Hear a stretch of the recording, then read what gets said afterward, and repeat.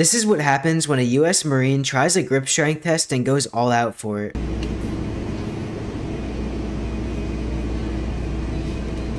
And his grip was measured at a crazy weight of 175.4 pounds of force. Would you be able to beat him?